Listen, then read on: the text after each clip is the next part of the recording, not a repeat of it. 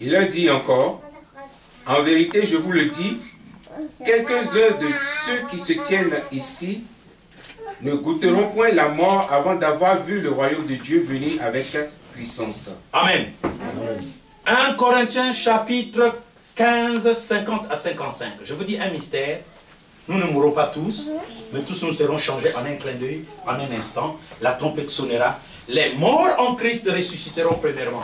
C'est la première résurrection. Et nous qui serons restés, nous serons changés en un clin d'œil. C'est ce que Jésus dit. Amen.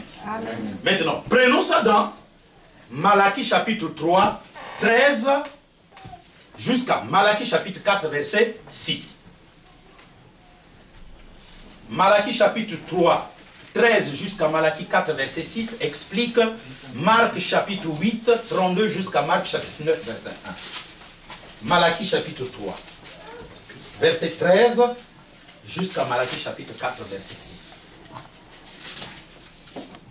Faisons la parole. Mhm. Vos paroles ont été dues contre moi, dit l'Éternel. Suivez mes frères. Et vous avez dit, en quoi avons-nous parlé, en, en quoi avons-nous parlé entre nous contre toi? Vous avez dit, c'est en vain que l'on sert Dieu, qu'avons-nous gagné à, à observer son commandement? Et à marcher avec tristesse à cause de l'Éternel des armées Maintenant, nous estimons heureux les, présomptueux, Suivez bien cette parole que vous êtes Oui. de recevoir. ceux qui pratiquent la méchanceté ont prospéré. Oui, ils ont mis Dieu à l'épreuve et ils échappent. Alors ceux qui craignent l'Éternel se parlaient l'un à l'autre. L'Éternel fut attentif et il écouta. Et un livre de souvenirs fut écrit devant lui. Un livre de souvenirs fut écrit devant le Seigneur. Pourquoi? Eh bien, parce que sur la terre, ceux qui marchent avec le Seigneur, ils se disent, qu'est-ce qui ne va pas? Nous là, on craint Dieu, mais on ne réussit pas. Les méchants réussissent. Ceux qui tentent Dieu réussissent. Mais c'est en vain qu'on sert Dieu. Dieu a dit, ah bon, c'est ça que vous avez dit. C'est pas grave. Calmez-vous. Allez, les anges, venez. Écrivez-moi le nom de tous ceux qui me servent et qui ne sont pas en train de réussir là.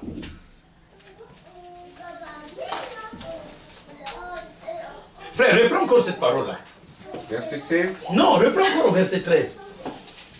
Vos paroles ont été dues contre moi, dit l'Éternel. Et vous avez dit, en quoi avons-nous parlé entre nous contre toi? Vous avez dit, c'est en vain que l'on sert Dieu. Qu'avons-nous gagné à observer son commandement? Ah, qu'avons-nous gagné en observant ces commandements? Frère, écoutez-moi très bien. Cette parole-là est prophétique. Ici, là, c'est les commandements, c'est-à-dire la loi de Moïse que nous observons. C'est l'époque où nous qui sommes remplis du Saint-Esprit et qui devons sortir des églises apostates, nous devons écouter la loi de Moïse. Parce que ayant l'Esprit en nous, nous sommes comme Jésus qui a dit, je ne suis pas venu abolir la loi et les prophètes, mais je suis venu accomplir la loi et les prophètes. C'est pourquoi c'est dur. Le message du rétablissement de toutes choses ressuscite la loi de Moïse de ses propres cendres. Parce que la loi du brisement spirituel fait partie de la loi de Moïse. La discipline par laquelle tu dois accepter de souffrir fait partie de la loi de Moïse. Les plus grands exemples, nous allons les trouver par exemple dans Malachie, non plutôt dans 2 Maccabées chapitre 6, versets 13 à 17. On prendra un exemple comme ça. 2 Maccabées. 2 Maccabées. Ah, Tu n'as pas, il n'y a pas de quoi. On n'est pas là encore. Hein, 2 Maccabées chapitre 6, verset 13 jusqu'à 17. Donc, qu'est-ce que dit la parole ici? Vous avez dit, c'est en vain que l'on sert Dieu. C'est en vain que l'on sert Dieu. Qu'avons-nous gagné à observer son commandement? Qu'avons-nous gagné avec ce prédicateur qui nous dit qu'on doit mettre en application euh, Deutéronome 22, verset 5 et à marcher avec tristesse à cause Hein? de l'éternel des Lui, il dit que si tu es comme ça, tu ne dois pas prêcher. Ce prédicateur-là sort d'où? Mais c'est le Lévitique qui le dit, mais Lévitique c'est l'Ancien Testament. Comment lui dit qu'on doit accomplir? Voilà le problème que nous avons aujourd'hui.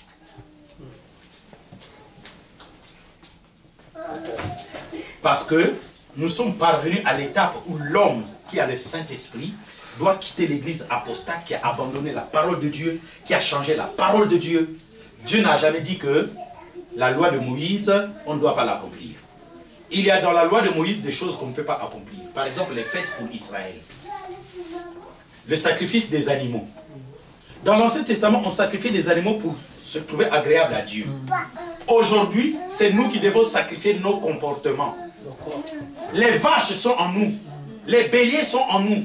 Les cochons sont en nous. Les tigres sont en nous. Les tiakoulas qui parlent trop, c'est nous maintenant, ça est là.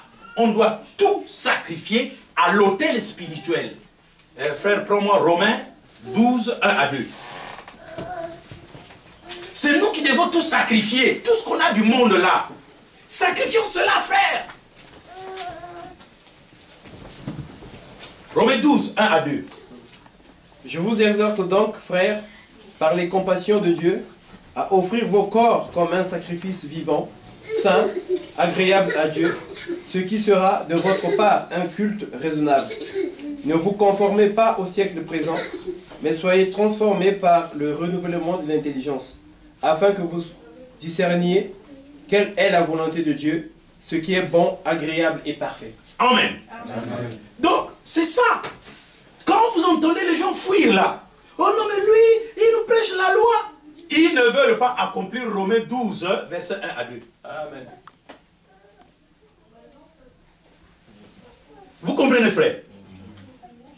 Et Romains 12, verset 1 à 2 se prolonge dans Romains 13, verset 8 à 14. Lecture.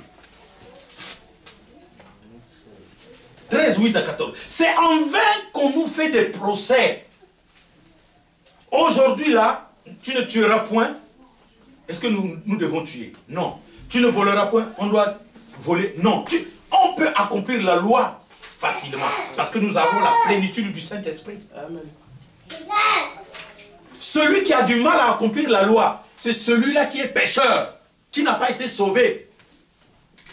Et il n'a pas compris qu'il doit être brisé spirituellement. Il n'est pas d'accord. Il veut sauver sa vie de la pratique de la loi. Romains, chapitre 13, 8 à 14. Ne devez rien à personne, si ce n'est de vous aimer les uns les autres, car celui qui aime les autres a accompli la loi. Amen. Le problème que nous avons dans la sanctification, c'est que nous devons accomplir la loi de l'amour. Point. Celui qui a accompli la loi de l'amour a accompli tout l'Ancien Testament. Et si tu accomplis tout l'Ancien Testament, pourquoi les problèmes comme Deutéronome 22, verset 5, ça va te faire du mal? C'est Dieu qui le veut. C'est Dieu qui le veut.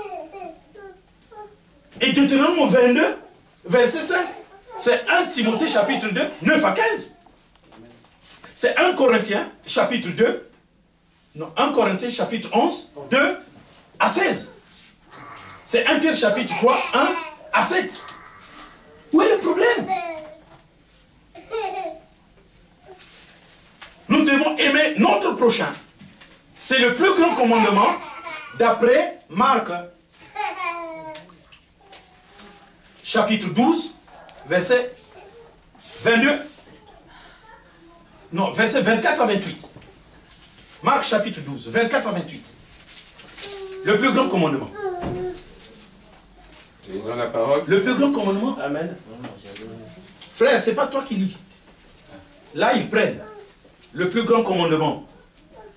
Marc, chapitre 12, 24 à 28. C'est- Non, tu vas. il vous ne savez pas que le plus grand commandement, c'est l'amour de. Dieu dans le prochain. Aimer Dieu de tout son corps, de toute son âme, de tout son esprit, de toute sa pensée, et aimer son prochain comme soi-même. Mais c'est ça l'accomplissement de la loi. Maintenant, la révélation, c'est que quiconque aime Dieu de tout son corps, est-ce que tu vas t'habiller comme les putes de Paris? Non. Comme les gays de Paris Voilà, mais parce que tu aimes Dieu de tout ton corps. Le corps est sanctifié. Amen. Le corps est mis à part. De toute ton âme. Tu ne vas pas haïr les gens dans ton cœur. de tout ton esprit, mais tu vas aimer la parole de Dieu, de toute ta pensée. Mais tu auras des pensées saines pour les gens. Ils te font du mal, c'est pas ton problème. Tu les aimes, tu les aimes. Accomplissement de la loi est égal amour du prochain. Ennemi ou ami, tu dois les aimer. Continuons. Verset 9. Oui J'avais une question sur euh, Romains 13, au verset 8. Ne devez rien à personne. Hmm. En fait, euh, cette phrase, euh, je- j'aimerais que qu'on décortique un peu la phrase. La seule chose que tu dois dévoir aux gens, c'est de les aimer. Mais si tu dois l'argent aux gens, remets. Si tu dois les chaussettes d'autrui, remets. Et ça, c'est ça, ça, c'est euh, c'est un péché alors. Devoir, Oui. c'est un péché. Si- Hein? Eh, c'est votre problème, c'est la même chose. Je vous l'ai dit un jour, si vous avez des dettes à la banque, c'est parce que vous n'avez pas la confiance en Dieu.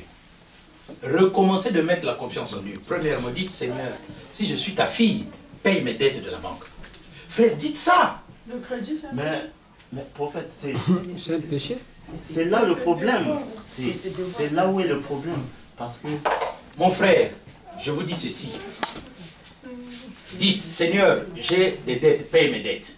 Si tu le dis avec confiance, ton Dieu payera tes dettes. Vous voyez là où on ne s'entend pas. Quand je vous conduis dans les vraies choses qui vont vous aider, vous n'êtes plus là. Parce que vous ne pouvez pas le faire. Va le faire. Mets tes genoux à terre. Dis, Seigneur, paye mes dettes de la banque. Au lieu de dire, non, frère, viens prier pour nous. Je te dis, va dire, Seigneur, paye mes dettes de la banque. Parce que c'est toi qui connais le montant. Dis à Dieu que Dieu règle ce problème. Et quand tu l'auras réglé, si tu as besoin d'un crédit, dis, Seigneur, j'ai besoin de temps, donne-le-moi. Vous pensez que Dieu ne donne pas l'argent? Eh, Dieu donne l'argent.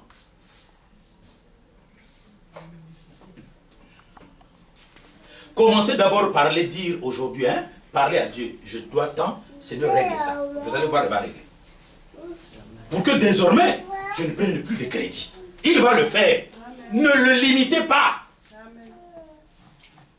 Faites-le. C'est l'homme de Dieu qui l'a dit, ça arrivera. Seigneur, nous avons pêché toute la nuit, nous n'avons pas trouvé du poisson. Mais sur ta parole, on va jeter le filet du côté droit. Et ils ont jeté le filet du côté droit sur la parole de Jésus. Allez dire à Dieu qu'il paye vos dettes. Est-ce que c'est un problème pour Dieu? Frère, l'or et l'argent appartiennent au Seigneur. C'est ça qu'on a vu hier à l'église. Vous êtes des fils et des filles de Dieu. Mais vous ne savez pas que vos dettes appartiennent à Dieu. Vos souffrances appartiennent à Dieu.